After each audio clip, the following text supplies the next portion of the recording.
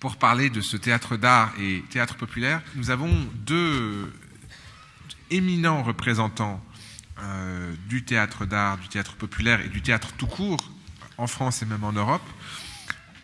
Bien sûr, Bernard Févre d'Arcier, euh, dont le parcours vous est connu, euh, directeur du Festival d'Avignon à deux reprises, ayant œuvré au sein du théâtre européen à, différentes fonctions, également en danse avec la, Biennale euh, donc lyonnais euh, d'adoption.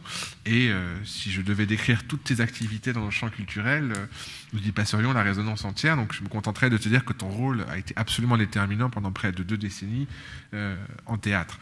Et Georges Banu, si je devais décrire ta bibliographie d'articles et d'ouvrages, on n'en serait pas non plus sorti. Donc Georges qui a évidemment écrit sur notamment Peter Brook, mais euh, qui a été surtout un, partenaire de dialogue depuis trois décennies, quatre décennies, euh, tous les metteurs en scène européens qui euh, voient à peu près tout ce qui peut exister euh, en théâtre, et qui est évidemment historien et critique du théâtre.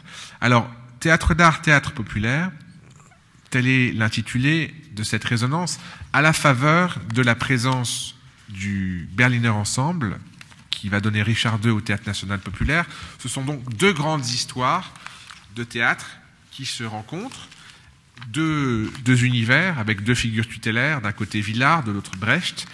Euh, on ne peut pas non plus ne pas évoquer la figure de Stanislavski en, pointillé, donc Berlin, Paris, Moscou, et, et puis un siècle d'aventures théâtrales, avec tout de même deux traditions, on va en parler, le théâtre d'art, le théâtre populaire. Qu'est-ce qui les caractérise? S'agit-il euh, de deux aventures parallèles ou convergentes? Qu'en est-il aujourd'hui? Quel est l'état européen euh, de la question? Eh bien, ce sont là quelques-unes des questions que nous allons aborder ensemble. Et je voudrais commencer, euh, Georges, par te poser une question simple. Qu'est-ce que c'est que le théâtre d'art? Oui, c'est la, question ne me surprend pas parce que j'ai parlé hier avec une cousine à qui j'ai dit Je vais à Lyon. Qu'est-ce que tu fais à Lyon? Je vais parler du théâtre d'art. Est-ce que ça existe le théâtre d'art? Qu'est-ce que c'est le théâtre d'art?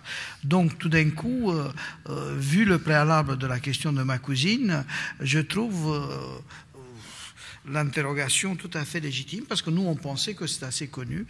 le, le, théâtre, il faut bien, il faut bien le dire, a, connu une sorte d'âge d'or au, XIXe siècle. Tout le monde parle de, euh, de, de, l'écho euh, du théâtre, de, l'écho dans la société, de, l'attrait qu'éprouve la société pour le théâtre. Tous les romans l'attestent, euh, Balzac, Flaubert. donc le théâtre est un, germe d'effervescence pour la, vie, parisienne et voire même la vie européenne. Mais ce théâtre-là est un théâtre d'acteurs, euh, c'est un théâtre qui est un théâtre plutôt de loisirs, euh, un théâtre où euh, le pouvoir se partage presque à égalité entre la scène et la salle. il y a une vie sociale dans les loges, il y a une représentation sur le plateau, surtout grâce aux, aux acteurs. donc c'est un, c'est une forme de manifestation qui se rapproche plutôt, plutôt du loisir, du, loisir, donc qui entraînait, qui entraînait aussi bien, chose, qui est très importante, parce qu'on parle de théâtre populaire, qui entraînait aussi bien les, représentants des classes aisées que le peuple. Donc c'est un théâtre impur, euh, hétéroclite euh, et très vivant. Euh, à, à la fin du 19e siècle, au début du 20e siècle, euh, se pose la question de, de l'apparition d'un nouveau personnage euh, qu'est le metteur en scène. Donc le metteur en scène est une personne qui n'existait pas avant, qui est appelée cette fois-ci à assurer la cohérence du plateau, à découvrir des auteurs, à les interpréter bref, à euh, donner une dimension artistique euh, à ce loisir qui euh, s'est manifesté tout au long du XIXe siècle sans qu'on lui accorde vraiment le statut d'art tout à fait. On considérait les acteurs comme des grands artistes, mais pas le spectacle en lui-même. Donc, ce qui est intéressant d'ailleurs, c'est que de voir dans, les textes de Proust, dans les textes de Proust, il parle jamais de la, du spectacle, mais il parle de la Berma, il parle de, de l'actrice. Donc il y a une, sorte d'isolement, d'isolement de, l'acteur qui rayonne sur un plateau, mais il n'y a pas d'homogénéité. Donc le metteur en scène est celui qui assure cette homogénéité et euh, c'est celui qui va faire basculer le, théâtre vers, vers l'art. Euh, et justement, ce qui est très intéressant, c'est que ce sont deux Euh, deux grandes figures, une moins connue et une autre, l'autre très connue, euh, qui sont à l'origine de cette dénomination. D'abord, c'est Luniepo, euh, qui travaille en France et qui est le grand auteur, le grand découvreur, pardon, des, des, des, des écrivains de la fin du 19e siècle. C'est-à-dire, en France, c'est lui qui met en scène Jarry, c'est lui qui, lui qui met en scène Ibsen, etc. Et donc, il crée, lui, un, théâtre d'art à Paris. Donc, cette dénomination vient d'un, c'est une chose importante, d'un metteur en scène porté, séduit par la littérature. De l'autre côté, euh, il y a à Moscou euh, Stanislavski et son collaborateur, dont il faut jamais oublier le nom d'Anchenko, parce qu'ils étaient deux comme euh, comme une sorte de tandem artistique euh, qui, euh, il y a un article très intéressant. J'ai fait un livre, euh, un livre, un, colloque à la suite de, duquel a été publié un livre, c'est celui-là, et dans cet article, dans, ce, dans cet ouvrage, qui livre qui s'appelle Les cités du théâtre d'art de Stanislavski à Streller, qui, était, qui est encore disponible malheureusement. il y a un article très intéressant d'une femme russe euh, qui travaille sur les archives, qui raconte comment euh, Stanislavski et Danchenko ont cherché désespérément l'intitulé l'intitulé du, euh, du nouveau théâtre qu'ils allaient créer. Donc, je passe les détails. Bref, ils, ils créent, ils ont l'idée ultime d'intituler leur théâtre le théâtre d'art de Moscou. Donc, le concept est lié absolument indissociable de l'apparition l'apparition du metteur en scène euh, et de, cette, de ce renouveau de ce renouveau absolu du, travail théâtral grâce à la visée nouvelle euh, qui est la visée d'un théâtre d'art euh, tout à fait dissocié du star system. Euh, d'ailleurs, le metteur en scène engage la guerre contre les, contre les vedettes, contre les, contre les stars. Il n'y a rien de plus contraire au théâtre d'art que Sarah Bernard qui, joue seule, entourée des, des, des météorites perdus sur le plateau. Euh, deuxièmement, euh, le, je, crois qu'on pourra revenir rapidement là-dessus. Le, euh, le, concept du théâtre d'art est lié au renouvellement du plateau, mais est aussi lié foncièrement au renouvellement, au renouvellement de la qualité des artistes. Euh, dans tous les discours de l'époque, on observe à quel point les metteurs en scène, Stanislavski en premier, mais André Antoine aussi, euh, réclament une euh, condition morale de la part des acteurs. ils, considèrent, ils considéraient tous que le, théâtre et les acteurs étaient des, des, endroits de, de perdition, de débauche, Là, pour preuve, le fameux roman de Zola, Nana, Nana qui est devenu presque le synonyme de, la putain. Euh, euh, et donc, le théâtre d'art appelle le, euh, nettoyage, disons, éthique. Le nettoyage du théâtre pour accéder à une nouvelle, à une nouvelle morale. Et dans l'ensemble de, ces textes, Stanislavski, ensuite en France, Copo, on, retrouve cette idée qu'il il y a le, besoin de, de, s'engager dans un processus artistique très fort, et ce processus s'appuie sur la, euh, euh, disons, le, la purification la purification des acteurs et du lieu. Aujourd'hui, ça peut paraître un peu, banal, mais euh, à l'époque, c'était un discours tout à fait, tout à fait, euh, tout à fait nouveau.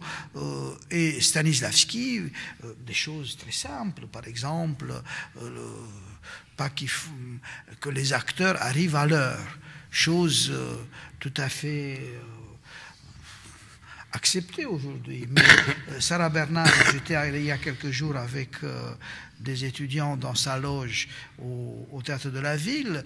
Euh, Sarah Bernard convoquait les acteurs à 3 heures de l'après-midi et elle arrivait vers 5 heures. Euh, tout le monde attendait, elle arrivait vers 5 heures, elle prenait le thé euh, dans sa loge et ensuite la répétition commençait vaguement vers, vers 19 heures. Donc Stanislavski demande à ce que les acteurs arrivent à l'heure que les acteurs acceptent l'idée des distributions démocratiques. Il disait, il n'y a pas de grands acteurs, euh, il n'y a pas de petits rôles et de grands rôles, il y a de petits acteurs et de grands acteurs. Donc cette idée que la, compagnie se construit sur le principe de, ces distributions, euh, de ces distributions euh, démocratiques. enfin, enfin, cette idée très très très très importante pour, pour Stanislavski, que le travail se fasse avec, disait Stanislavski, avec grand soin et minutie. Et pour qu'on pour arrive au, théâtre d'art, euh, on assiste à quelque chose de très important, euh, c'est euh, l'étirement du temps de répétition l'étirement du temps de répétition, parce qu'avant, pour des raisons d'exploitation de, des spectacles, on prépare un spectacle en, deux semaines. À la limite, le temps d'apprendre le texte, et, encore sans être sûr que les, acteurs sachent le texte, parce qu'ils improvisaient. Il y a beaucoup de références au, au texte détruit par les acteurs qui l'ignoraient. Tandis que le metteur en scène dit, pour accéder au théâtre d'art, on a besoin de plus de, plus de temps. Et euh, le luxe du metteur en scène va être, euh, va être le temps, la, la, durée. Donc le concept du, du théâtre d'art est un concept euh, nouveau euh, et un concept qui va, une dernière chose qui je pense assez importante à rappeler, qui va se fonder sur le respect à l'égard de, de l'écrivain l'image centrale, c'est l'image de Stanislavski, et Stanislavski a pu élaborer son théâtre d'art parce qu'il a trouvé un dramaturge, euh, euh, Tchekhov. Et d'ailleurs, d'ailleurs, tous les metteurs en scène qui vont se réclamer du théâtre d'art vont chercher euh, à respecter le texte et même encore plus à avoir leur auteur, ce qui, euh, ce qui s'avérera assez difficile. Mais Giorgio Streller, avec lequel j'ai fait douloureusement euh, la dernière rencontre publique au, euh, au Vieux Colombier, lieu euh, phare du théâtre d'art en France, le lieu de Jacopo. Streller disait Moi, je n'ai pas eu mon Tchekhov. mais par contre, Chéreau, qui se réclame du théâtre d'art, a tout fait pour avoir un auteur. Il l'a trouvé, ça a été Coltès, et il a en quelque sorte élaboré un, un, parcours, un, segment de sa vie à partir de l'œuvre de Coltès. Donc je dirais en, deux mots, euh, parce qu'une fois, euh, quelle est la philosophie? La philosophie, c'est euh, un texte, un lieu et un acteur. Parce qu'un texte, un lieu, un acteur, parce que aussi, il faut bien dire que tous ces défenseurs du théâtre d'art refusent euh, le statut de, l'acteur euh, euh, qui migre d'un endroit à l'autre. Ils sont à l'origine d'un lieu qui leur est propre. Ça va être le cas de Jacopo qui crée le Vieux Colombier, de, Stanislavski, plus tard de Jean Villard et autres. Donc, pour accéder à l'art, les préalables sont un texte, un lieu et un acteur soumis aux exigences de cet être nouveau qu'est le, le metteur en scène. Et d'ailleurs, le théâtre d'art est tout à fait euh, lié à, à, la fin du 19e siècle, à qu'on peut appeler un peu au début du 20e le siècle de l'interprétation. les siècles précédents sont des siècles de création. Avec le, début du XXe siècle commence l'interprétation, c'est-à-dire produire du nouveau à partir de l'ancien. Donc l'équivalent du metteur en scène, c'est le chef d'orchestre. le chef d'orchestre n'existe pas. Euh, avant la fin du 19e siècle. Euh, il y a le premier violon. D'ailleurs, euh, j'ai vu récemment, c'est assez émouvant de voir Barenboim qui dirigeait du piano un concerto de Mozart, ce qui, ce qui arrivait souvent. Donc le chef d'orchestre, le chef d'orchestre, le metteur en scène et le psychanalyste, bizarrement apparaissent en même temps après en même temps, et euh, au fond, au fond, ce qui les relie, euh, et je, lisais, euh, c'est aussi comme tout le monde d'ailleurs, le, livre de Boltanski sur les romans policiers, tous les trois, le chef d'orchestre, le psychanalyste et le metteur en scène, cherchent des indices. Des indices qui sont des indices révélateurs pour les interpréter. Donc le texte est la base sur laquelle travaille le, metteur en scène pour trouver ses indices. L'acteur, c'est son instrument. Donc il cherche des indices dans l'acteur. Euh, et c'est pour ça que la plupart de ces metteurs en scène qui défendent le théâtre d'art sont aussi des pédagogues. Une idée apparemment simple. Si on veut renouveler le théâtre, on a besoin d'un instrument nouveau. Et cet instrument nouveau, c'est un acteur éduqué sur la base des principes propres au, metteur en scène. Et enfin, le troisième paramètre, c'est le lieu. Le lieu qui est un lieu purifié. Et d'ailleurs, chose intéressante, quand moi je travaille beaucoup sur les textes, euh, il y a une métaphore qui revient souvent. Sans qu'il s'agisse, sans qu'il s'agisse de croyants, oui, mais Stanislavski, pas vraiment. Euh, Villard, pas du tout.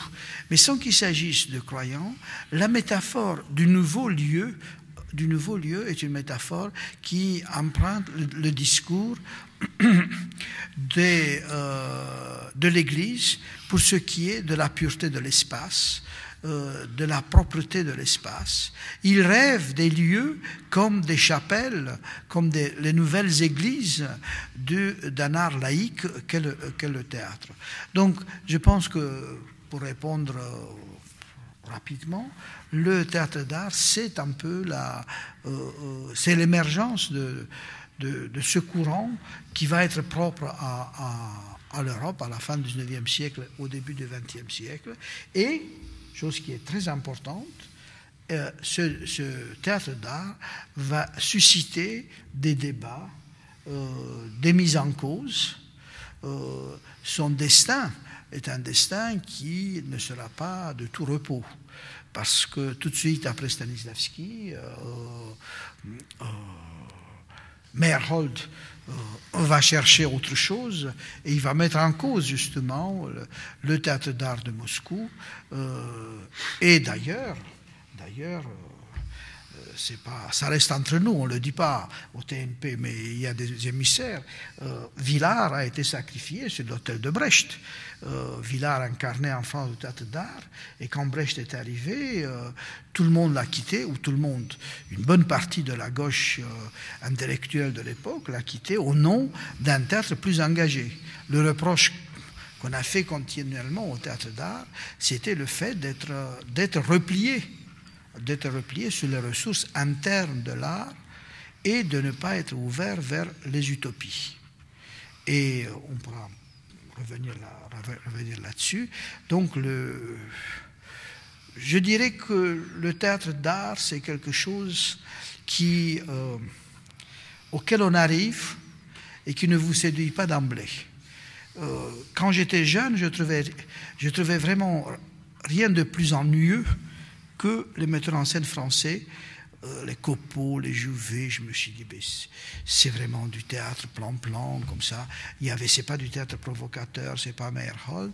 Et plus le temps a passé, plus j'ai compris qu'au fond, il y a deux familles, les familles donc des, des, metteurs en scène qui veulent que le théâtre serve à une cause extérieure au théâtre, euh, et qui sont forcément des metteurs en scène exaltants, qui séduisent les jeunes. Euh, Sartre, euh, disait Sartre, c'est un bon auteur pour exciter les jeunes. Euh, c'est vrai d'ailleurs, aujourd'hui, euh, on se rend compte que beaucoup de textes de Sartre n'avaient pour, vocation que d'exciter les jeunes et de leur faire croire que la société pouvait changer du, jour au lendemain.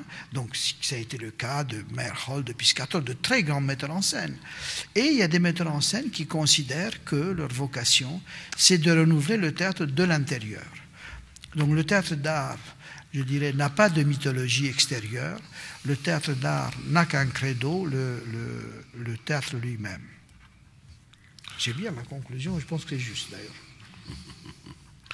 Alors, le théâtre d'art comme, d'une certaine manière, religion du théâtre, comme accentuation de sa dimension sacrée, euh, avec cet enjeu d'exigence, avec cette figure de prophète qui est le metteur en scène, donc dépositaire d'une vision, et d'une incarnation dans un personnage avec ce temps sacré, y compris la ponctualité, on voit effectivement le continuum avec une forme de religion laïque euh, où les grands textes, où le verbe, pour le coup, aurait trouvé un nouveau lieu euh, où se déployer.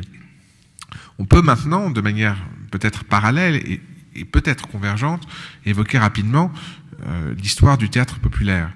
On peut considérer qu'il y a déjà une ambiguïté fondamentale qui est la notion même de peuple, puisque euh, le peuple, comme de nombreux concepts politiques, est plastique. On peut lui donner le contenu qu'on souhaite. Euh, on peut considérer que le peuple, c'est l'ensemble de la, par exemple, l'ensemble euh, d'une collectivité et que Athènes, la communauté, on peut considérer que le théâtre athénien est populaire au sens où il est civique, citoyen et qu'il intègre l'ensemble de la communauté.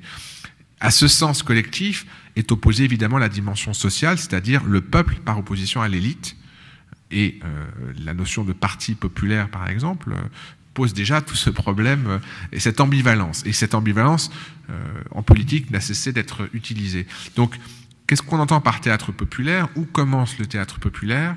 Est-ce qu'il commence à, à Épidore, par exemple? Est-ce qu'il commence à Athènes? Qu'est-ce qui lui donne sa portée? Donc, sans refaire toute une histoire du théâtre sous cet angle-là, si on, se branche directement sur le XXe siècle, on constate que, notamment du fait de la crise de la conscience européenne, du grand naufrage de la Première Guerre mondiale, pour le coup, euh, et avec le renforcement de, la démocratie. Bien avant, quand même. Oui, mais je, voudrais éviter de faire un, grand. Euh, non, non, je dis que c'est, euh, je que c'est dangereux de, défendre l'idée du théâtre populaire euh, par rapport à la Première Guerre mondiale, parce que les premières initiatives en France précèdent et justement quelqu'un comme Romain Roland, qui défend le théâtre populaire en 1910. Oui, en 1910, j'entends bien, mais tout le discours et, et que finalement euh, je, crois que le théâtre populaire, c'est la dernière illusion de l'Europe avant la catastrophe de la guerre. Et que, sorti, sorti de, la guerre, euh, on n'aura pas du théâtre populaire, on aura plutôt du théâtre politique. Parce que là, euh, Firmin Gémier, Firmin Gémier, il est presque, c'est le grand précurseur de Villard, il veut faire un théâtre populaire, parce que je crois que, il y a aussi le problème du théâtre populaire, c'est que, bizarrement, c'était très intéressant ce que tu dis, c'est que dans la mesure où il y a le théâtre d'art, qui est un théâtre, il faut bien dire, un peu presque élitaire, pour des, des petits Voire élitiste. Euh, voilà, pour, pour, des, petits, des petits lieux. Il y a à l'opposé cette, cette, mouvance dont tu parles. Alors, j'entends tout à fait ce que tu dis, parce qu'effectivement, les textes de Romain Roland euh, datent d'avant la guerre, mais Romain Roland, on connaît son destin de, justement de pacifiste, c'est celui qui écrit Au-dessus de la mêlée en 1916, précisément cette volonté d'un humanisme européen, et 1910, on entend déjà euh, le militarisme européen, et tu as j'en suis d'accord avec toi sur l'origine antérieure, bien sûr. Mais ce que, Bien sûr, ce que je voulais simplement dire, c'est que il n'est pas étonnant que, euh, en termes de transfert idéologique, là où il va y avoir un investissement massif, c'est lorsque la catastrophe européenne euh, a, euh, en gros, ratiboisé d'autres formes d'idéaux. Donc, le théâtre populaire, le théâtre engagé, le théâtre comme lieu citoyen, avec là tout un, tout un prisme idéologique qui va de la République au socialisme, voire au communisme, euh, a un nouvel élan. Et on a effectivement la veine Roland, on a la veine Firmin-Gémier, on a la veine Brecht, enfin on a tout, tout un panel et, c'est dans cet entre-deux-guerres que les choses vont fleurir. Je, vais rapidement, parce que je, effectivement c'est un sujet immense, parce que je voudrais en arriver à, à une interrogation qui, qui, va concerner directement euh, ta parole, Bernard. C'est-à-dire que ce théâtre-là, justement, euh, engagé, populaire, cette aventure qui a notamment été celle du TNP, euh, le premier TNP de Firmin Gémier et puis le TNP réactivé après la guerre, la deuxième guerre pour le coup, dans le sillage d'un idéal de résistance, justement, donc là on, a, on voit bien aussi cette, cette manière d'investir le théâtre, euh, eh bien, on, on, on l'a vu initialement implanter et fleurir à Avignon. Bon. Et je voudrais qu'on, sans, sans, être dans une perspective uniquement historique, qu'on arrive maintenant à Avignon comme un, un point nodal de l'intersection des deux enjeux. C'est-à-dire qu'Avignon, initialement, euh, lieu d'un théâtre euh, populaire. Donc, si je reprends une définition, c'est les grandes œuvres, enfin, celle que sera, qui sera donnée par exemple par Malraux sur les grandes œuvres au service de la majorité, du plus grand nombre. Et en même temps, Avignon conçu comme un lieu du d'un certain théâtre d'art, voire d'un théâtre justement, euh, je pense à la programmation du IN notamment, euh, d'un théâtre pointu. Donc, dans quelle mesure, et là je m'adresse aux, praticiens, enfin à celui qui a dirigé le festival, dans quelle mesure ces deux, euh, dimensions euh, ont été articulées ou contradictoires aux problématiques dans l'évolution et la redéfinition même d'Avignon, théâtre d'art et théâtre populaire? Bah C'est très difficile d'utiliser ces deux notions de théâtre d'art et de théâtre populaire parce qu'elles sont quand même très euh, euh, situées au plan, historique, sinon même au plan géographique. Donc, euh on a beaucoup de mal, par exemple, à exprimer, lorsqu'on rencontre des critiques anglo-saxons ou des gens de théâtre, évidemment, d'autres continents, à pouvoir leur expliquer ce qu'était le théâtre d'art façon Copo ou même Stanislavski ou le théâtre populaire selon Jean Villard. C'est un, on est obligé de, faire un cours d'histoire de 20 minutes avant, quoi, pour que les gens en face comprennent. Alors, théâtre d'art, euh, maintenant, je pense que pour les générations d'aujourd'hui, ça ne fait pas tant référence que cela, malgré tout, aux origines russes euh, euh, que décrivait très bien Georges Banu. en fait, le théâtre d'art, ça consistait à rappeler que le théâtre est un art et c'est pas, pas évident. C'était pas évident au XIXe siècle, mais c'est pas évident non plus maintenant, parce que lorsqu'on discute euh, des questions culturelles ou artistiques avec, euh, je dirais, le monde anglo-saxon, qui est quand même un monde économiquement dominant pour l'instant, euh, on vous parle davantage de divertissement que d'art. Et que le théâtre, c'est d'abord traduit par spectacle ou par entertainment. Et donc, euh, euh, les, interlocuteurs euh, américains, par exemple, ont tendance à penser que le théâtre d'art, c'est un théâtre pour intellectuels, ou c'est un théâtre pour, évidemment, des petits lieux marginaux, et que pour eux, le théâtre, c'est d'abord une économie. Et d'ailleurs, de plus en plus maintenant, lorsqu'on parle de théâtre, on utilise un vocabulaire économique qui est devenu prégnant dans toutes les études que l'on fait, sociopolitiques.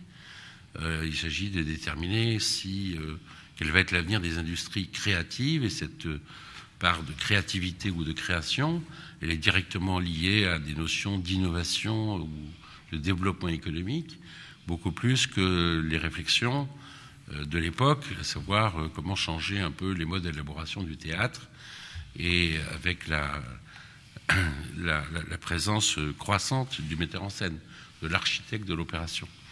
Donc théâtre d'art, on a du mal à en parler. Le dernier à en avoir parlé vraiment, c'est peut-être Antoine Vitesse. Euh,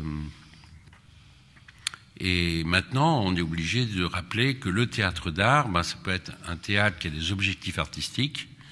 Alors les gens diront, ben, c'est le théâtre public.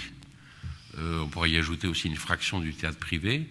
Mais en tout cas, c'est pas le théâtre qui se présente comme euh, d'abord et avant tout un, une occasion de divertissement. En même temps, euh, on trouvera du théâtre d'art euh, travaillant les textes de, je sais pas, de Fédot ou de la Biche, tout autant. Hein, euh. donc c'est pas non plus une catégorie selon les auteurs ou selon la nature même tragique, tragicomédie ou comédie du théâtre. Alors, théâtre populaire, c'est encore aussi une autre notion qu'on a extrêmement, euh, est extrêmement difficile de faire passer à d'autres interlocuteurs. Et même maintenant aux nouvelles générations, parce que le terme populaire est complètement ambigu. On l'a rappelé au, au, plan politique. Hein. Qu'est-ce que c'est le Front populaire, le Front de gauche, le Front national, euh, qui est populaire, qui ne l'est pas. Et puis quand on regarde quand on accole le terme de populaire à un certain nombre d'expressions artistiques, on tombe sur des significations complètement différentes. On dit théâtre populaire. Alors pour nous, on dira euh, village, enfin gémier, villard, etc. Et cinéma populaire, qu'est-ce qu'on dit? On pense euh, cinéma de quartier, on pense euh, les plaisirs de la série B euh, le samedi soir, du western, c'est un cinéma populaire. Art populaire, art et tradition populaire, mais c'est quoi? Donc littérature populaire. Vous voyez? Donc théâtre populaire tout d'un coup. Alors, je crois que Villard essayait de populariser le théâtre d'art, à la limite. En tout cas, si on définit le théâtre d'art avec le goût d'un texte, d'un lieu et d'acteurs, Villard a tenté effectivement de réunir tout cela euh, avec une troupe permanente, donc ça, ça, ça compte beaucoup, évidemment. Donc euh, la possibilité pour des acteurs, évidemment, de se former avec cette discipline de la répétition dont parlait Georges Banu et le fait que il y avait de grands ou petits acteurs, mais pas de grands et petits rôles. Et puis un lieu et des lieux symboliques, avec une très très forte symbolique, aussi bien la salle du Palais de Chaillot à Paris que la cour d'honneur du, Festival d'Avignon, du Palais des Papes. Et les textes, eh bien, il y avait une revendication de la part de Villard, évidemment, de- d'utiliser de, grands textes. D'ailleurs, il a plus réussi dans les grands textes du répertoire, euh, français ou allemand d'ailleurs, qu'avec la création contemporaine, parce que lorsqu'il s'est essayé à la création contemporaine, il a eu moins de chance que Patrice Chéreau avec Bernard-Marie Coltès. Alors, j'ai l'impression que pour Villard, effectivement, l'art était une chose importante, une chose sérieuse, le théâtre était une chose sérieuse, le théâtre devait être, devait avoir une ambition artistique, c'est sûr, mais en plus, euh, il y avait l'idée évidemment du public, du rapport au public, que s'opposait peut-être, on se posait peut-être pas trop à Moscou euh, à l'époque de Stanislavski. Euh, Villard, lui, disait ben, il faut maintenant euh, il faut offrir un théâtre d'art au public le plus large possible, reprenant ainsi les préoccupations de l'époque qu'ensuite le ministère de la Culture exprimera volontiers pour parler de démocratisation culturelle ou d'accession euh, du plus grand nombre au chef-d'œuvre de l'humanité. Donc, il a essayé, euh, par une aventure qui est restée d'abord euh, l'aventure du seul Villard. Il faut savoir que pendant longtemps, pendant plus de 20 ans, le Festival d'Avignon, ce n'était que une seule compagnie. Donc il n'y avait pas de concurrence, de compétition ou d'alternative possible. C'était Jean Villard et sa troupe, le TNP en l'occurrence, qui arrivait et qui était le seul à euh, s'adresser au public que l'on recherchait, un public euh, dont on faisait tout pour qu'il n'y ait pas cet effet d'intimidation que souvent le public ressent à l'égard de l'art et à l'égard du théâtre en général. Hein, en faisant, en pratiquant des horaires, en, étant en lien avec les organisations de jeunesse, en, pratiquant des prix bas, en publiant euh, les textes, enfin, de mille et une manières. Alors ensuite, ça a changé. Alors, effectivement, il y a eu ce théâtre populaire-là. Était-il engagé ou moins engagé que le théâtre brechtien? Enfin, Il y a eu ces discussions là-dessus. Il y a Villard eu n'a pas toujours Théâtre été. populaire qui, Hein, qui a quitté Villars à partir du moment où Brecht est arrivé. Voilà, donc il y a eu euh, effectivement ces mouvements-là. Et ensuite, mais c'est Villard lui-même qui l'a voulu, je dirais que Villard a rompu avec euh, ce concept unique, peut-être parce qu'il était épuisé, je ne sais, de théâtre populaire. Et je pense que Villard lui-même l'a fait. Il, en était complètement nourri. Et il l'avait fait pendant des années et des années. Et d'ailleurs, au point qu'on liait, le théâtre populaire liait l'éthique et l'esthétique. On disait, voilà, un homme, euh, genre euh, instituteur, euh, républicain, dont l'adjoint sera d'ailleurs un, militant communiste plutôt de culture protestante, Sévenol. Euh, et donc, euh, il y a une forme de rigueur de pensée, de modestie dans les moyens, et euh, cette, ce, cette, forme d'ascétisme ou de rigorisme dans le choix des textes, dans la, la volonté d'exigence, va bien de pair avec une esthétique dépouillée. On ne se préoccupe pas justement de plus que cela des décors, des costumes ou de la lumière, et on fait sur plateau nu ressurgir tout le travail de l'acteur. Et en fait, ce lien entre esthétique et éthique, que l'on a beaucoup fait à propos de Villars et à propos des débuts du Festival d'Avignon, il a été très vite rompu. Et on peut dire que le successeur, finalement, dans l'esprit de Villars serait Mnouchkine, et Mnouchkine fait tout sauf des spectacles ascétiques. Hein Mnouchkine, quand elle se déplace, c'est pas de la tarte. Hein. Il faut transporter carrément la cartoucherie de Vincennes avec 60 acteurs et quelques tonnes de, quelques containers de plusieurs tonnes. Je veux dire, c'est, il y a au contraire une flamboyance dans la musique, dans le, décor, le costume, le maquillage, etc., qui n'est pas du tout la veine esthétique de Villard. Vraiment pas du tout. Et Villard, quand il s'est mis à. quand il a décidé d'arrêter de faire lui-même la mise en scène à Avignon pour, pour ne se consacrer qu'à la fonction de directeur de festival, il a commencé à inviter des gens qui avaient justement un style esthétique très différent du sien. Alors, Parfois, on se demande même s'il avait vraiment vu, s'il en avait pris conscience ou s'il avait vraiment invité. Parce qu'inviter le Living Theatre en 68 à Avignon, euh, lorsqu'on dit Villard, il a dû avoir un choc quand même, Villard. Bah, c'était euh, la grande rupture. Hein, oui, c'était la grande rupture. Si bien qu'après, enfin moi qui ai commencé euh, mon premier festival en 1980, à programmer mon premier festival en 1980, je me suis aperçu que on n'était plus Avignon, n'était plus un festival de théâtre populaire, mais plutôt déjà un festival populaire de théâtre, au pluriel. Il y a un détail intéressant d'ailleurs pour, l'ambiguïté du terme du TNP. Euh, euh, c'est tellement sensible. Sartre, Sartre attaque Villard. Sartre attaque Villard en disant justement que le public du, TNP est un public trop hétérogène, un public euh, qui réunit, comme tu disais, l'instituteur, l'étudiant, tout ça. Et Villard donne une des plus belles réponses à Sartre en lui disant TNP veut dire, euh, ne veut pas dire théâtre national prolétaire, mais théâtre national populaire.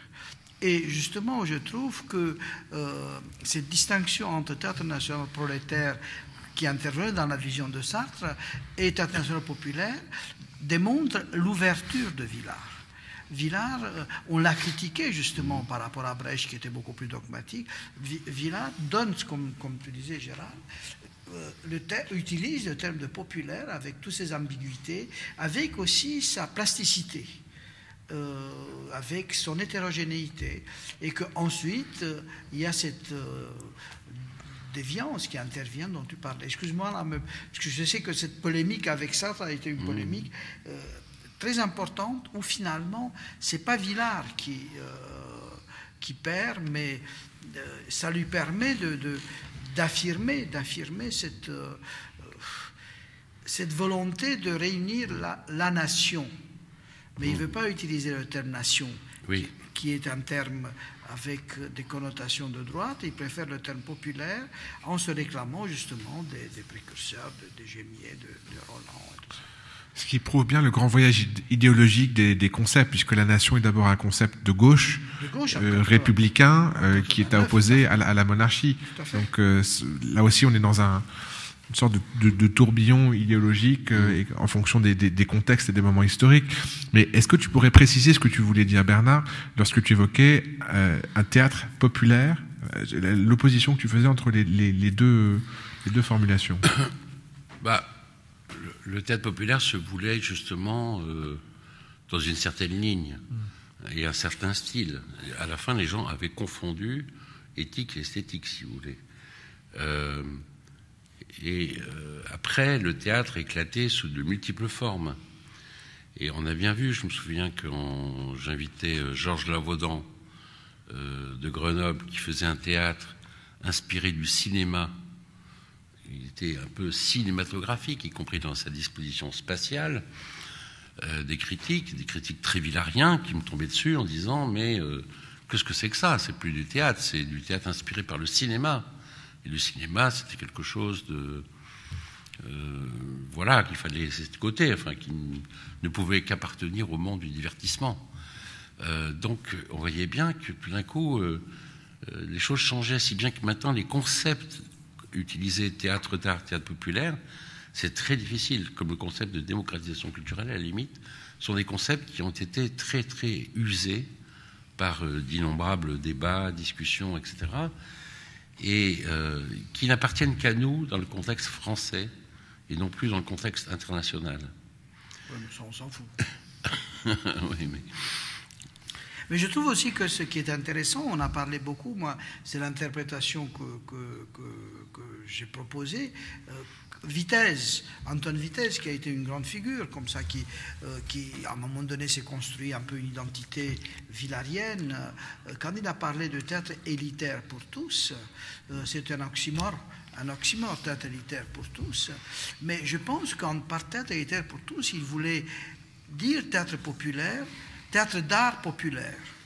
Mais il ne le formulait pas comme ça, parce que comme tu dis, les, les notions avaient vieilli, et s'il avait dit théâtre d'art populaire, bon, ça faisait un tout petit peu...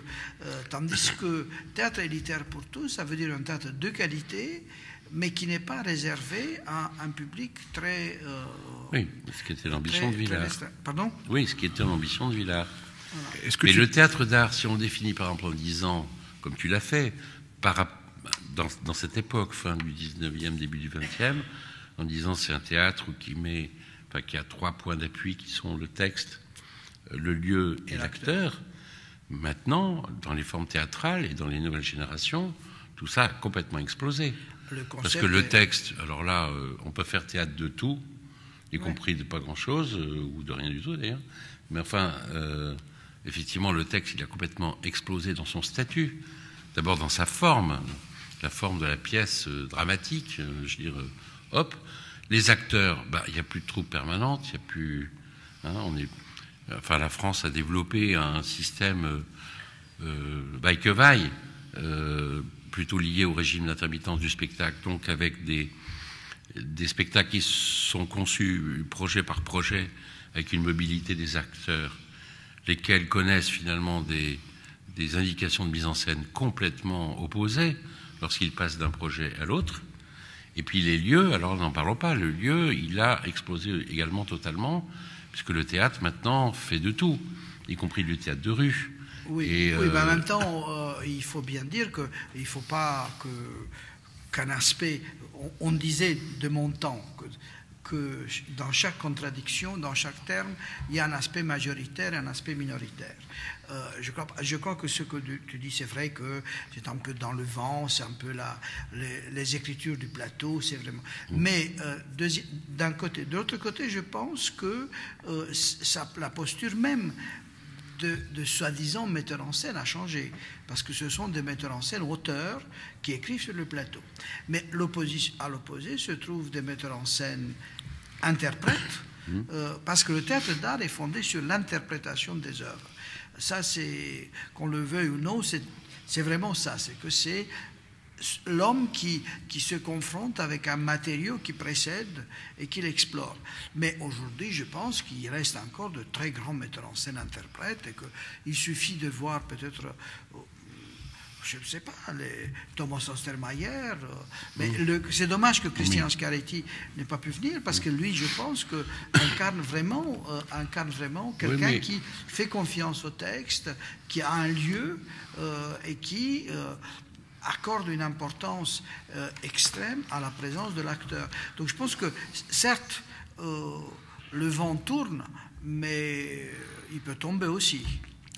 Certes, et justement, et c'est aussi ce qui motive cette résonance, le Berliner Ensemble et le TNP ont cette caractéristique commune d'avoir un lieu, une troupe, un répertoire, donc précisément d'être euh, des, des- des emblèmes d'une certaine tradition qui précisément est peut-être celle d'un théâtre d'art euh, populaire, donc comme, comme tu l'as très bien expliqué, ou très bien déployé, c'est-à-dire non pas un théâtre populaire au sens d'un cinéma populaire, mais un théâtre d'art avisé euh, du peuple entendu dans son sens large, et non pas seulement prolétaire. Euh, alors, je, je voudrais qu'on on creuse cette question-là, parce que tu disais les, les concepts sont euh, datés, d'accord, dépassés, et que la réalité est, plus complexe, fatigué. fatiguée, d'accord. Euh, Ensommeillé. est-ce à dire, alors aujourd'hui, si on, on déplace les, les concepts, est-ce à dire, que- enfin, co- comment poser aujourd'hui les dichotomies ou les grandes, les grandes lignes de fracture au sein du théâtre tel qu'on l'observe aujourd'hui ben, Le premier grand clivage, c'est entre art et divertissement. Entre quoi? Art, et art et divertissement. Entre le projet, je veux dire, la, la priorité que l'on donne à l'artistique euh, ou bien euh, à, à l'économique. Enfin, dans le monde, j'entends dans le monde. Hein. Euh, ce qui ne veut pas dire que le divertissement, l'industrie du divertissement ne soit pas de grande qualité. une comédie musicale américaine, c'est quelque chose d'une très très grande qualité. Mais la portée, je vais dire, pédagogique, culturelle de la comédie musicale ne sera pas la même, évidemment, que cette espèce de théâtre d'art à la française que les metteurs en scène français cherchent à populariser ou que le ministère de la Culture cherche à rendre populaire. Donc déjà, il y a... mais comme le cinéma, c'est la même problématique que le cinéma. Hein. Le cinéma est, un art et une industrie. Donc de quel côté on penche? Ce qui ne veut pas dire que parfois on n'arrive pas à faire une œuvre artistique qui ensuite soit un succès économique également, bien sûr. Mais c'est d'abord un premier clivage qui est très important. Donc, euh, alors ensuite, moi je trouve en revanche que les constituants, les ensembles constituants dont parle euh, Georges, euh, lieu, texte, acteur, ont complètement explosé.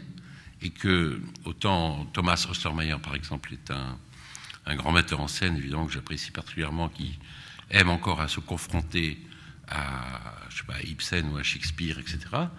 Mais euh, pour moi, Romeo Castellucci est un, est un artiste de plein exercice qui ne va pas utiliser le texte, ou si peu, hein, qui va utiliser des, euh, mais très très peu de choses. Alors peut-être parce qu'il est plasticien d'origine, mais qui va faire une œuvre artistique qui va être ou non populaire, il faut voir.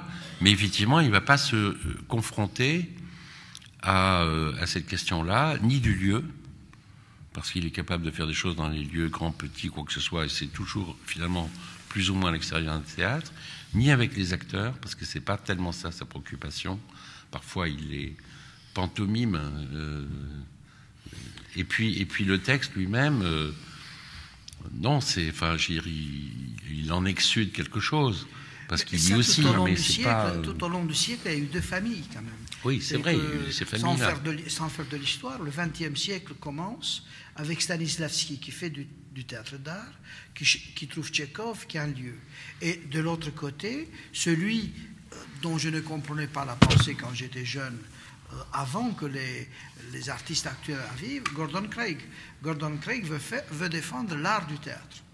L'art du théâtre, c'est, il dit, l'art du théâtre est représenté non pas par un metteur en scène interprète, mais par un créateur qui crée, comme Castellucci, avec des corps vivants, euh, qui euh, expose sa, sa vision et, et, qui surtout est le maître absolu à bord. Mm. Donc, euh, ce qui est intéressant, c'est qu'il a fallu attendre presque 50 ans pour que Cantor ou Wilson arrivent pour voir que c'est possible.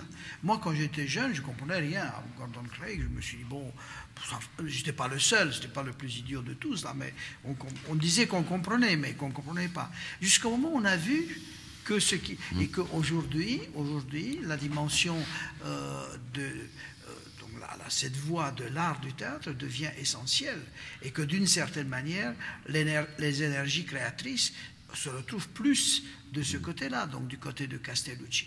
Mais ce qui est intéressant, parce que ce qui est intéressant, c'est que c'est une chose de défendre le théâtre d'art, comme le fait Christian avec une grande force, mais avec bonne conscience. C'est l'analyse que je fais. Mais il y a d'autres qui commencent comme avec le théâtre d'art, mais qui deviennent des artistes complexés, parce qu'ils ne sont pas comme les autres artistes à part entière. Peut-être, je ne sais pas s'il est venu à, Lyon, mais un artiste que moi j'ai beaucoup aimé, j'aime de moins en moins, Warlikowski.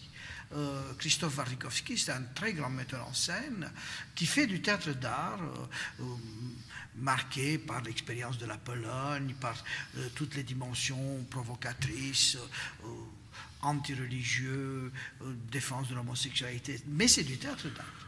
Et à un moment donné, comme tu dis, en quelque sorte perturbé, il veut passer à l'art du théâtre, mais il n'a pas la vision d'un plasticien. Et donc, on assiste aujourd'hui à, la perversion euh, ou, oui, à la dégradation, je pense, de, certains artistes qui veulent basculer du côté de, du côté de l'art du théâtre sans qu'ils aient un univers. Je pense que Castellucci peut faire ce qu'il fait parce qu'il a un univers.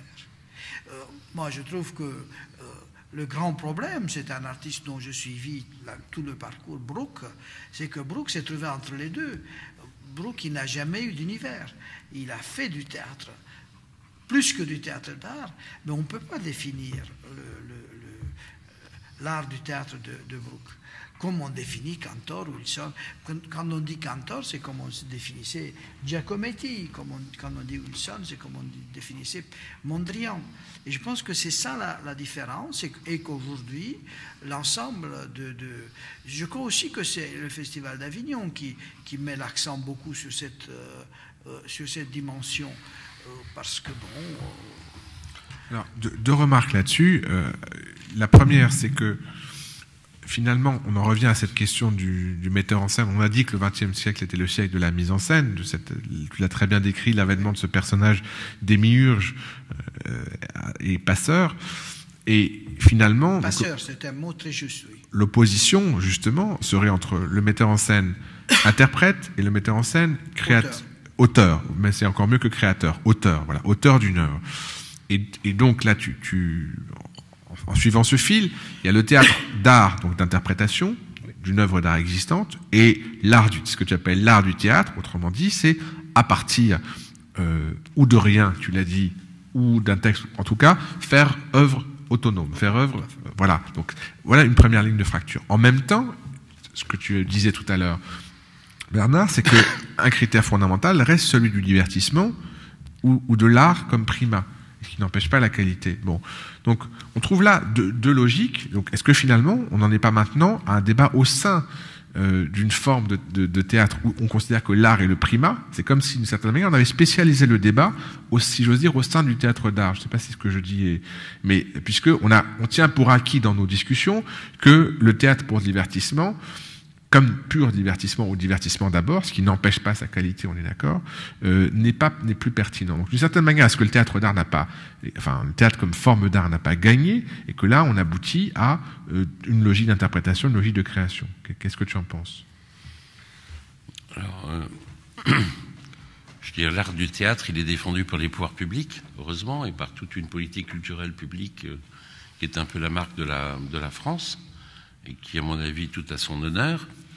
Euh, le tout est menacé, euh, mais pour des raisons exogènes à ces débats artistiques ou philosophico-artistiques, par les situations économiques qui risquent évidemment, dans une société comme la nôtre, euh, audimatique et, et, sondagière, de, évidemment de, déplacer les choses et de, laisser le théâtre d'art dans un, dans un espace qui sera de plus en plus restreint.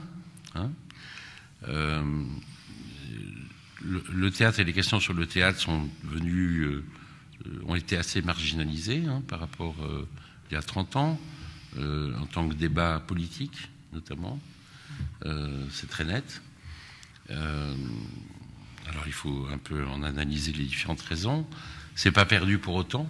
C'est pas perdu pour autant parce que je pense que euh, Internet, les réseaux sociaux et cette forme de communication ne, ne, remplacera pas, euh, n'épuisera pas, euh, au contraire, le goût de, la relation face à face entre personnes vivantes, entre acteurs et spectateurs.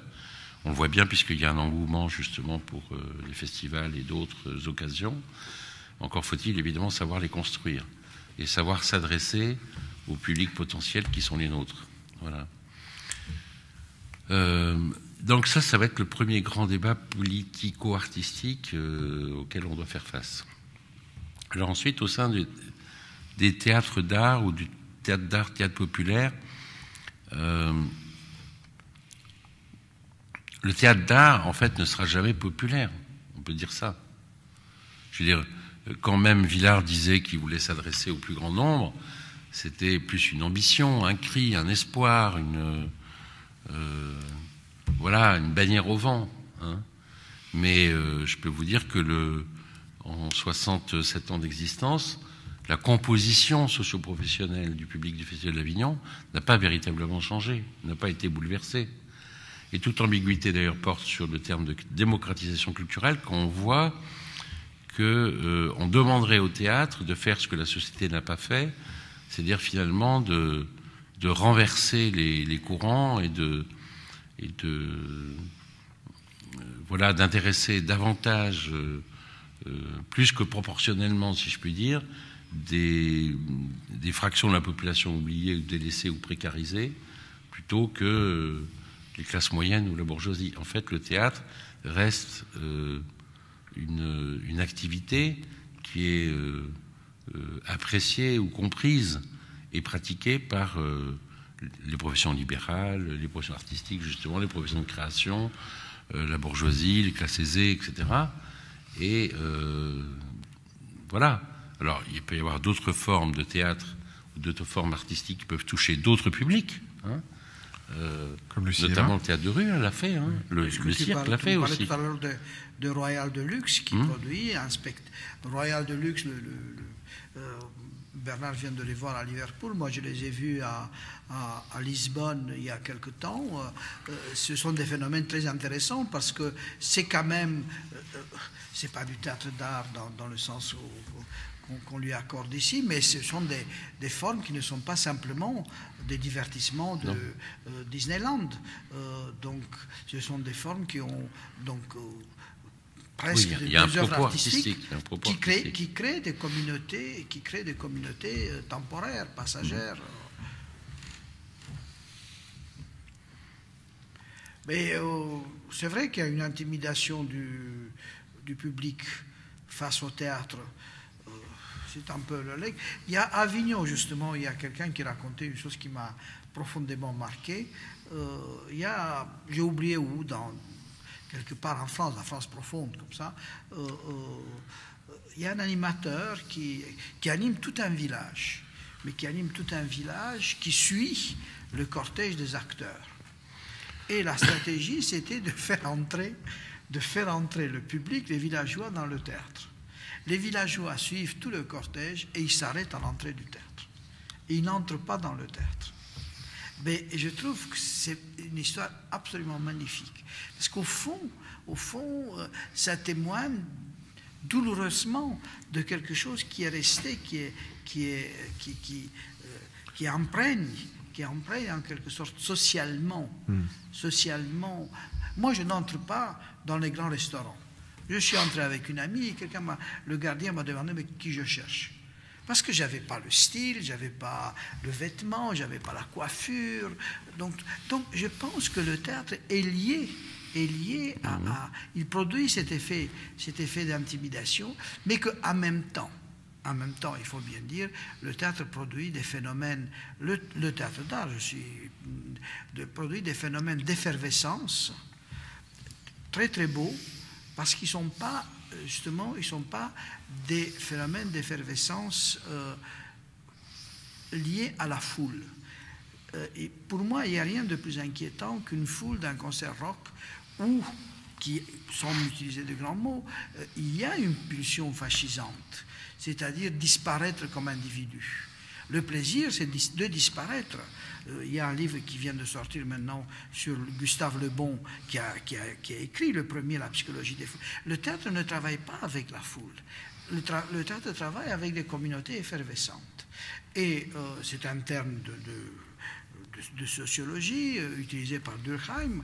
Et la, beauté du théâtre d'art, je trouve que c'est un, une beauté liée au, fait que l'identité individuelle est sauvegardée, mais on est seul parmi les autres. J'ai vu mesure pour mesure euh, récemment à l'Odéon, comme j'ai vu Arlequin de Streller, c'est une chaleur qu'on partage, mais sans que, je m'oublie moi-même. Et je crois que euh, c'est peut-être ce que le théâtre peut encore produire euh, à des petites échelles et euh, sans, entrer de nouveau dans le vocabulaire trop religieux. C'est un peu la différence entre une église romane et une cathédrale gothique. C'est-à-dire, dans une église romane, nous sommes deux centaines, je ne sais pas, 200 personnes.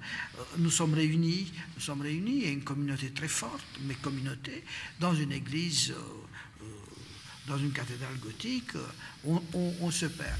Et le théâtre, je pense, que représente ces, ces chapelles, ces chapelles effervescentes, quand le spectacle est, agréable, qui donne de l'énergie, sans, sans, sans qu'on chute du côté de, de l'oubli de soi euh, propre au, stade de foot. Euh, c'est pas c'est pas un, déni de quelconque euh, dans un, dans un sens idéologique, mais c'est autre chose.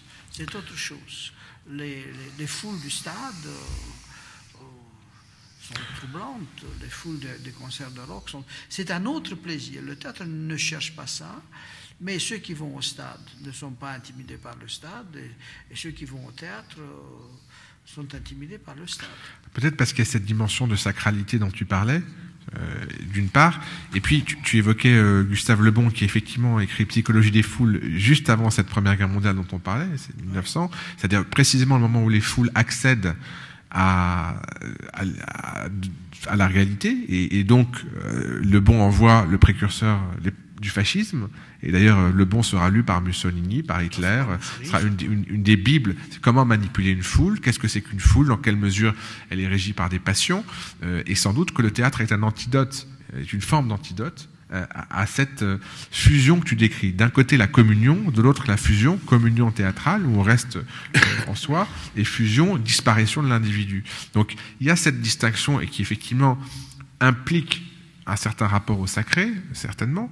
Et il y a le côté que tu décrivais aussi très bien, ce n'est pas pour moi. C'est précisément euh, des, gens qui vont considérer que le théâtre n'est pas une forme, à la différence d'autres euh, formes collectives, euh, que ce soit le, sport ou que ce soit évidemment le, enfin voilà, tous les, les, grands divertissements. Et il se, trouve que ma compagnie est implantée en banlieue nord, à Paris, à Aubervilliers, et où 50% des des gens là-bas n'ont comme diplôme que le brevet des collèges, donc il y a 120 nationalités, et en l'occurrence, la plupart des gens ne savent pas qu'il y a un théâtre. Théâtre de la commune, théâtre d'Aubervilliers, euh, l'un des premiers euh, CDN euh, décentralisés, etc. Et voilà. Parce que ils considèrent que ça n'est pas dans leur champ de, de conscience, dans leur champ, que ça n'est pas pour eux. Mais c'est pour ça que tout l'intérêt réside dans la médiation culturelle. Euh, et cette question de la médiation culturelle, c'est la question politique centrale euh, des, ministères de la culture à venir. Et avec une sorte de, dialectique entre médiatisation et médiation. Et très souvent, on a pensé que la médiatisation allait régler le tout. Il suffisait de faire parler de soi, y compris euh, sur Facebook, mais ça ne suffit pas. En fait, c'est un travail élaboré d'une médiation. Parce que moi-même aussi, je passe devant plein de choses que je ne connais pas et je n'y pénètre pas, parce que jamais personne ne m'a pris par la main pour aller voir euh, autre chose. Hein. je comprends que les gens peuvent s'arrêter aussi devant une usine, ils peuvent s'arrêter devant une ferme, ils peuvent s'arrêter devant un stade parce qu'ils ne savent pas comment on fait, tout simplement. Hein. Et, donc, euh, cette médiation est, est capitale. Donc, ça dépend évidemment de la plasticité de l'information des groupes sociaux et la capacité d'avoir euh, euh, des, propositions qui sont faites comme ça euh, et des occasions qui sont données. Pourquoi les festivals marchent bien et ont été une sorte de formule à succès? C'est justement parce que tout d'un coup, un certain nombre de barrières tombaient et que l'effet d'intimidation était moindre. De toute façon, par exemple, pour pénétrer au Festival d'Avignon, il ne faut pas être seul, il faut être en groupe.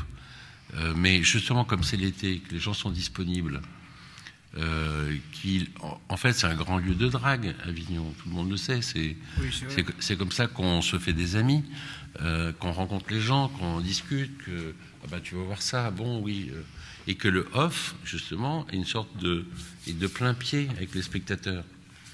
euh, très facilement euh, par le tract, par la discussion avec l'acteur. euh, voilà, on se laisse séduire de cette manière-là. Mais euh, parce que moi, je connais plein de Parisiens qui passent devant le Louvre tous les jours sans oser y pénétrer. Hein Euh, voilà, donc euh, les effets d'intimidation, ils existent dans tous les domaines. Et j'ai même bien dans toutes les classes sociales. hein. Mais il y a aussi quelque chose quand même, c'est pour ne pas être toujours trop trop critique, il y a quand même en France quelque chose qui moi m'a ébloui et ça a commencé il y a presque 25 ans. C'est l'option théâtre dans le lycée. Oui, Euh, oui, je crois sûr. que euh, qui est, mena- qui est euh, terriblement menacé euh, c- ces jours-ci pour des raisons de crise, tout ça. Euh, moi, je me souviens quand j'ai vu, je voyais les premiers spectacles où il y avait les scolaires, ils étaient tous euh, euh, avec les, les- les oreillettes. euh, et euh, pour Vitesse, le public scolaire, c'était un cauchemar.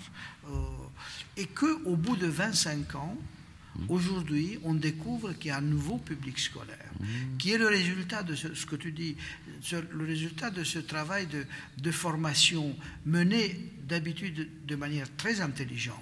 Et je crois qu'on a, la, la France a à l'heure actuelle, un public scolaire d'une qualité vraiment exceptionnelle.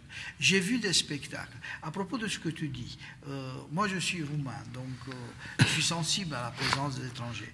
J'ai vu une des Peut-être vous, allez dire que c'est démagogique, mais c'est pas si démagogique que ça. Je vais à la Comédie Française pour voir euh, un spectacle de Fomenko. Fomenko, c'est pas non plus, c'est pas d'une difficulté énorme. Enfin, c'est une pièce russe. euh, Fomenko et beaucoup de des scolaires. Je me suis dit une catastrophe assurée. Euh, une catastrophe assurée. D'abord, la première chose que j'ai vue, c'était des gens qui venaient pas forcément d'Aubervilliers, mais qui venaient du Nord. Euh, et il y avait deux copains qui se faisaient photographier à côté de la statue de Molière. Donc, ils ne voulaient pas dessiner des moustaches sur la statue de Molière, mais ils étaient fiers d'entrer dans la maison de Molière. Et je trouve que c'était le résultat peut-être du travail effectué par, par les profs. Ensuite, pendant ce spectacle très long, euh, qui moi me laissait un peu de marbre, euh, ils n'ont pas bougé et il y avait une qualité d'attention tout à fait remarquable. Et je crois que c'est. Il y a une histoire très amusante. Une, une étudiante faisait l'option théâtre et elle était obligée d'acheter les billets à l'avance. Donc, euh, elle voit le spectacle et, qui était assez mauvais euh, et elle dit aux élèves euh, Vous savez, on a acheté les billets, si vous ne voulez pas y aller, on n'y va pas parce que c'est vraiment pas bien. Et finalement, les élèves disent on y va. Et, c'est elle qui racontait. C'est très beau ça. Euh, à la fin, les élèves sont allés la voir en lui disant Mais madame, c'est pas si mauvais que ça. Euh, Donc, au fond, je trouve comment on peut analyser Madame, c'est pas si mauvais que ça. Elle avait éveillé en eux une sorte de respect, de goût pour le théâtre, même si leurs critères étaient incertains. Et je crois que ce que tu dis sur la médiation, c'est essentiel. Et euh, euh, je crois qu'il faudrait peut-être, c'est à nous tous de défendre l'option théâtre aujourd'hui, euh, qui, qui est vraiment une des décisions et une des pratiques les plus les plus originales, les plus abouties de la formation euh, du spectateur, du jeune spectateur français.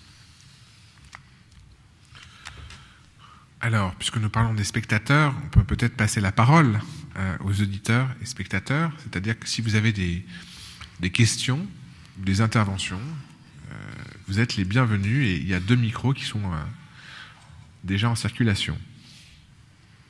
Oui, parce que là, nous ne sommes pas dans la situation de la foule, Non, mais plutôt celle du public. ça c'est du théâtre élitaire, mais pas pour tous. Voilà. Oui, Véronique? Alors je vais commencer. Merci.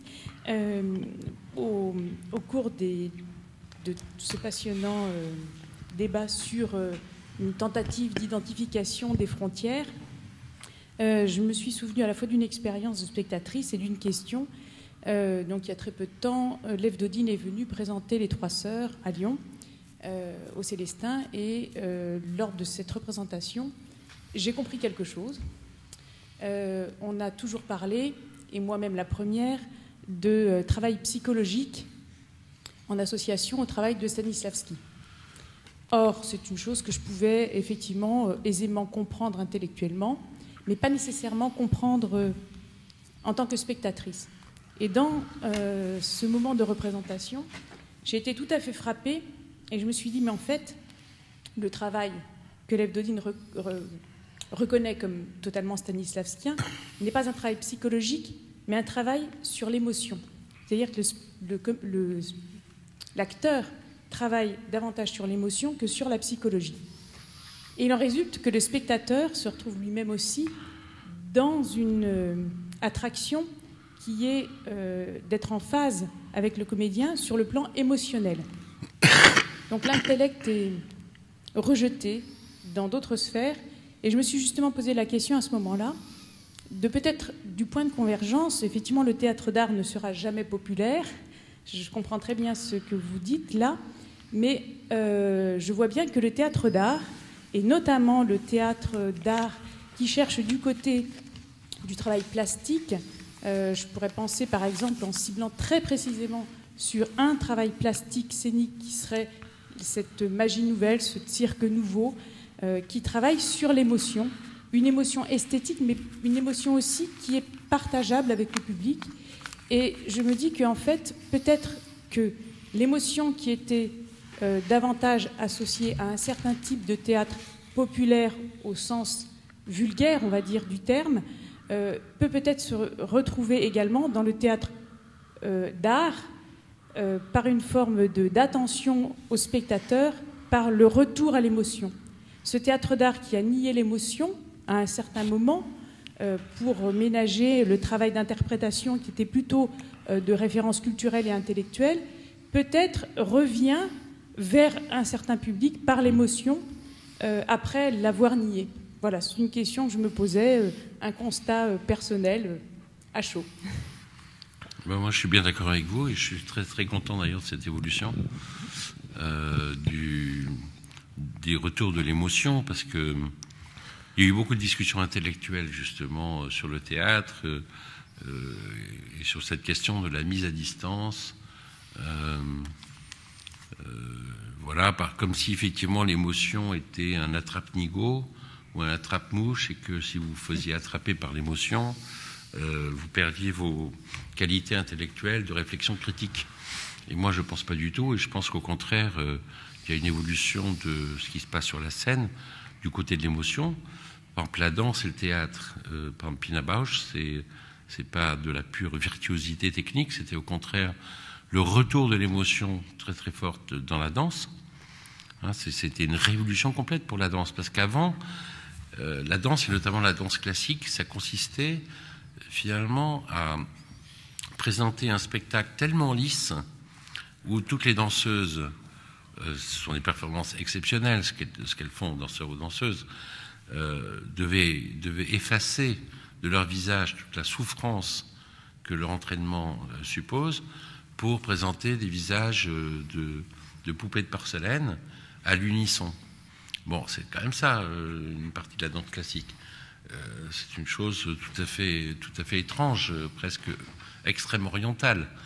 Euh, et tout d'un coup, Pina Bausch a redonné à chacun de ses interprètes, chacune de ses interprètes, une personnalité en, demandant justement à tel ou tel interprète d'exprimer son émotion personnelle, individuelle, euh, et elle a fait un peu éclater tous les codes justement de la danse à ce moment-là, au point que les gens disaient mais c'est pas de la danse, c'est plus de la danse. De toute façon, c'est du dance théâtre, c'est pas elle qui non plus l'a inventé, mais on a été formé justement à ce type de choses. Et puis, beaucoup d'autres euh, metteurs en scène maintenant ne euh, sont, sont, pas des metteurs en scène de texte, mais effectivement directement liés à l'émotion, qu'on aime ou qu'on n'aime pas. Alors il y en a qui jouent de la provocation à mort, c'est-à-dire qui jouent du gros, du lourd, Rodrigo Garcia, il n'hésite pas. Castellucci, c'est beaucoup plus euh, fantasmé. Pipo del Bono, c'est un peu larmoyant. Enfin bon, chacun a un peu son style. Mais je crois qu'effectivement, au total, c'est un grand retour de l'émotion qui éclate sous toutes ses formes. Et, je pense que c'est plutôt une bonne chose, enfin que c'est plutôt assez régénérateur. Non? Toi Une autre question? Intervention?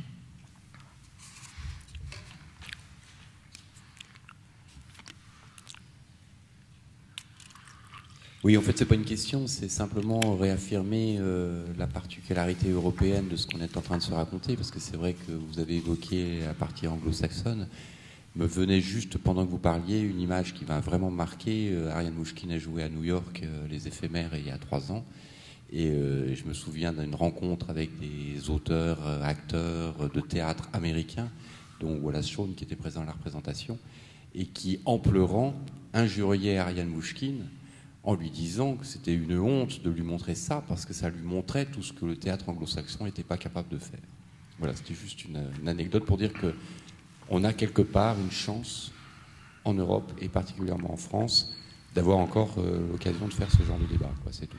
Bah, c'est ce que vous dites, c'est vrai, mais en même temps, je ne suis pas un lecteur fréquent de New York Times, mais euh, récemment, euh, il y avait un article dans le New York Times qui annonçait que suite à la crise, euh, l'Europe va prendre le, chemin de l'Amérique, c'est-à-dire la, suppression du ministère de la Culture. Au Portugal, vous savez qu'il n'y a plus de ministère de la Culture. Et euh, l'auteur de cet article disait qu'au fond, euh, les Européens vont être obligés de déployer des trésors d'imagination pour trouver des, des, mécènes, pour pouvoir monter des productions. Donc, euh, si l'avenir est américain, on pleurera ensemble. Non, non, mais ce ne sera pas du tout le cas de figure. Hein. Euh, C'est-à-dire je pense, qu'il y aura au contraire une, réaction euh, assez forte, politique aussi, politique. Enfin bon, on dirait, là, je ne vais pas préjuger du résultat de l'élection présidentielle, mais quand même, moi je suis sûr qu'il va y avoir une une, euh,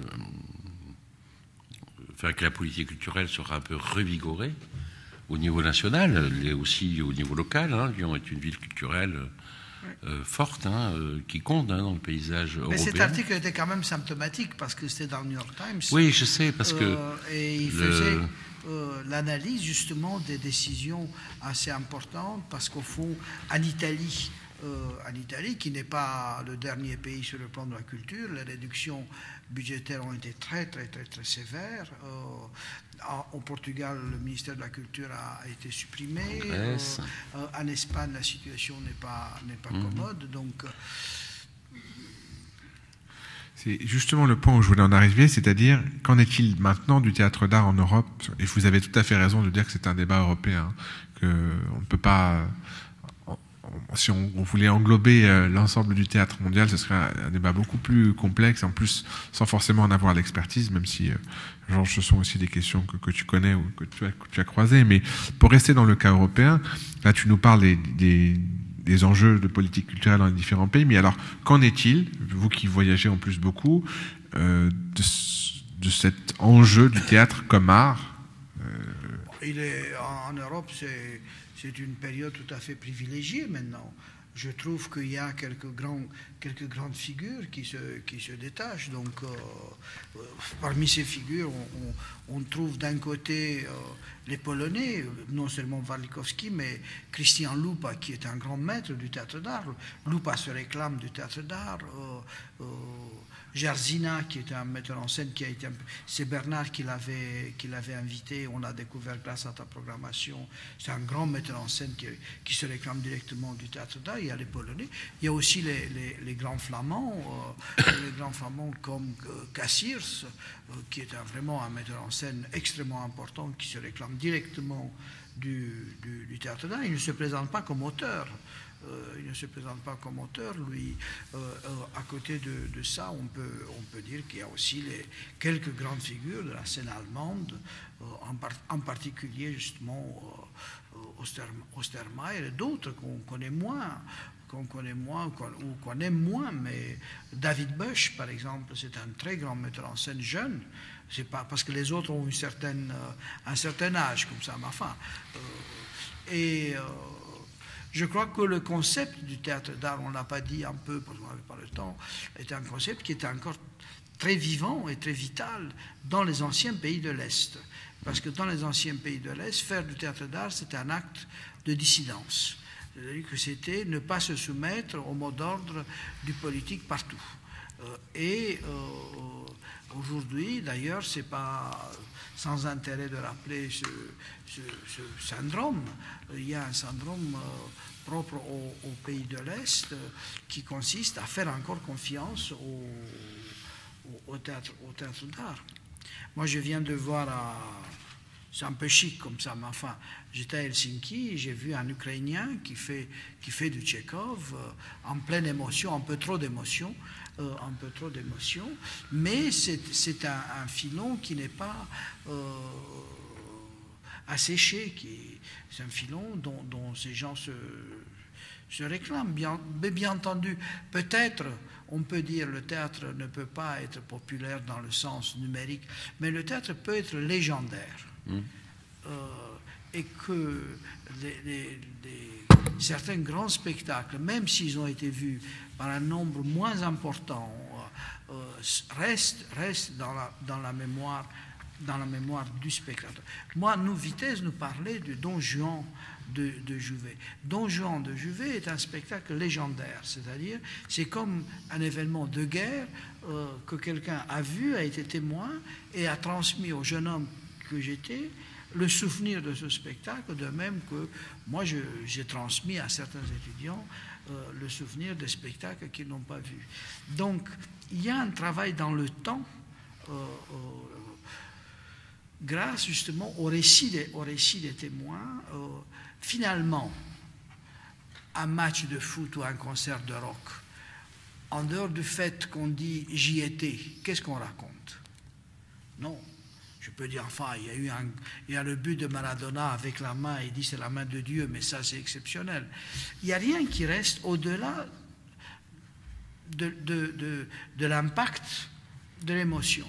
Le théâtre, qui est un art du vivant, laisse quelque chose en soi-même s'il s'agit d'un grand spectacle. Et la légende du théâtre est fondée aussi sur la disparition. Si le théâtre était resté comme les, les peintures, euh, les salles de théâtre seraient encombrées comme le Louvre par des, kilomètres de croûte. Euh, il y a beaucoup de spectacles mauvais. Mais il y a quelques grands spectacles qui sont des spectacles légendaires dont on retrouvera à un moment donné des, traces, des, euh, des, fragments, des bouts de... Le, théâtre est le champ de ruines, le champ de ruines de l'Europe. et que le, bonheur de trouver des fragments de ces ruines est, parfois inestimable. Euh, quand j'ai vu, je n'oublierai pas de sitôt, quand j'ai vu pour la première fois de ma vie deux minutes euh, d'Isadora Duncan dans une danser dans une propriété russe, j'avais lu la biographie d'Isadora Duncan. Tout, elle a dansé nue sur l'acropole. Euh, elle se battait avec Céline à l'hôtel Crillon au point qu'il cassait ils ont cassé trois suites à l'hôtel Crillon. Euh, elle avait euh, vécu avec euh, Gordon Craig, mais je ne l'avais pas vue. J'ai vu trois minutes et j'ai compris le génie de cette actrice, de cette danseuse légendaire comme ça. Et je pense que le théâtre laisse des traces et qu'il n'est pas populaire, mais il, est, il a cette, force, cette force liée à la disparition la disparition est une force et pas seulement une faiblesse.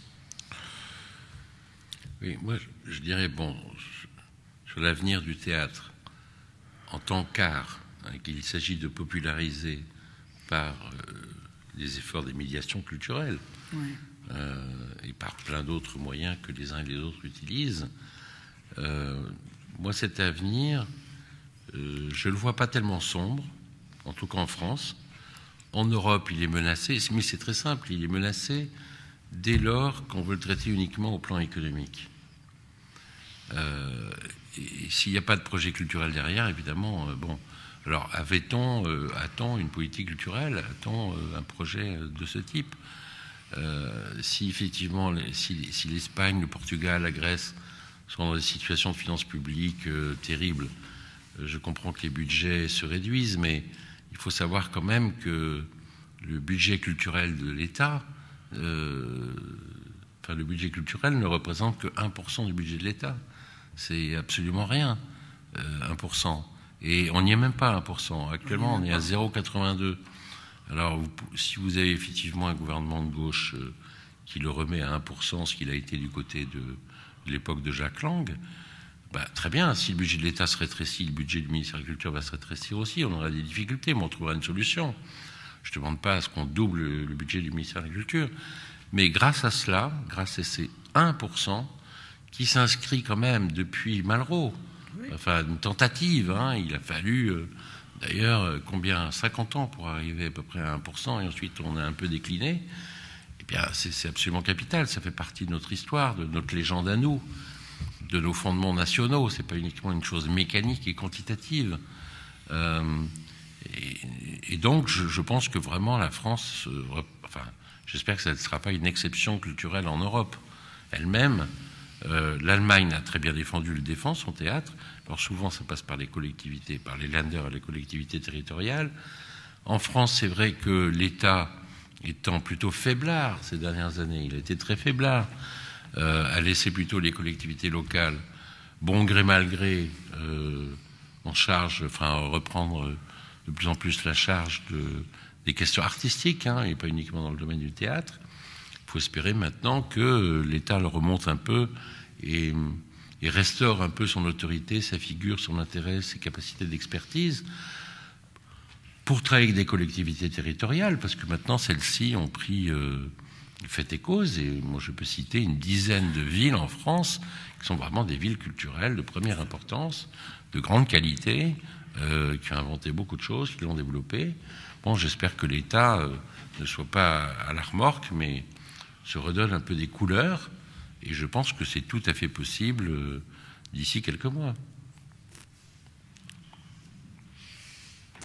N'y voyez bien sûr aucune allusion. une intervention, une question? Alors, justement, une conclusion, j'allais le dire. Et pour conclure, je voudrais te demander, enfin, je voudrais demander d'ailleurs à chacun de vous euh, de d'écrire ce que c'est son, ce, que serait, pardon, un rêve de théâtre, un rêve de théâtre idéal, tel qu'on pourrait le voir se déployer. C'est à la fois politique et artistique sur les prochaines années. Qu'est-ce qu'on pourrait rêver pour euh, ce théâtre d'art au sens large du terme? Comme institution, pas comme les, prévisions artistiques euh, ne sont pas de mon ressort. donc je ne peux pas prévoir qu'il va y avoir de grands metteurs en scène français ou de mauvais metteurs en scène dans les années. Moi, je pense sincèrement, peut-être que j'ai travaillé ces derniers temps, je pense, mon rêve, ça serait d'avoir quelques grandes structures au-delà des troupes, des compagnies euh, autonomes, mais quelques grandes structures qui, prendraient en charge l'éducation artistique. Euh, ce qui a disparu euh, complètement, c'est ce lien consanguin entre l'institution théâtrale et la formation théâtrale. et que il me semble que l'éducation, l'éducation théâtrale l'option théâtre côté spectateur, c'est très fort. Par contre, je pense que l'enseignement théâtral en France est un enseignement un peu autonome par rapport à l'institution. Et si euh, je pouvais défendre une idée, je défendrais cette, euh, cette relation entre l'institution théâtrale, donc là, le TNP, et une école, mais pas une école autonome où les professeurs du TNP vont enseigner, mais une école où il y a euh, un brassage permanent entre les jeunes et les anciens, entre les jeunes et l'administration. Euh, euh, et il y avait, c'est pour moi un modèle, il y a un très beau texte de Bergman, après la répétition, où Bergman parce que le metteur en scène, c'est Bergman lui-même, qui parle avec une jeune comédienne et il lui dit, voilà, euh, c'est très bien, le Dramaten de Stockholm a sauvé, a sauvé euh, cette, cette, liaison originaire entre l'école et l'école de théâtre. Donc moi, mon, mon, rêve, ça serait que, euh, qu'il y ait quelques institutions qui prennent en charge l'enseignement. Et euh, je termine là-dessus, sans faire tout le temps, des, sans donner des exemples historiques, mais il y, a, les quelques grandes aventures théâtrales du XXe siècle sont des aventures où il y a eu cette gémellité théâtre-école. Euh, Stanislavski a créé des studios à l'intérieur de son théâtre, Meyerhold de, de, de, même, euh, pareil. Jouvet était dans la posture de vitesse un peu au conservatoire et à l'Athénée. Euh, et donc je pense que ça pourrait donner, peut-être ça pourrait donner aussi une identité plus forte à l'acteur français, un peu à la déroute comme ça, qui, comme il n'est pas rattaché à une compagnie, euh, il est disponible euh, aujourd'hui avec un metteur en scène, demain avec un autre metteur en scène. Euh, Bernard? Alors là, bah, par exemple, que quelques grands spéculateurs internationaux qui ont fait donc des fortunes, comme l'on sait, décident euh, finalement de consacrer 80% euh, de leur fortune euh, à la création, la production et la diffusion de spectacles ayant découvert à quel point c'était important. Après tout, pourquoi pas, hein, puisqu'on a Warren Buffett, on a d'autres, on a quelques grands, quelques grands esprits qui, au lieu évidemment d'acheter à nouveau je veux dire, des choses tangibles, hein, l'art gréco-romain, euh, les porcelaines chinoises ou même l'art contemporain, euh, pour les mettre dans des musées qui porteront leur nom, décident de faire un musée éphémère, enfin de faire la même chose, mais justement au profit d'un art euh, qui disparaît, enfin qui disparaît naturellement et qui se régénère, l'art de la disparition dont parlait Georges, c'est-à-dire un art qui, voilà, s'évanouisse, ce qui est quand même beaucoup plus de gueule que de conserver euh, des objets matériels.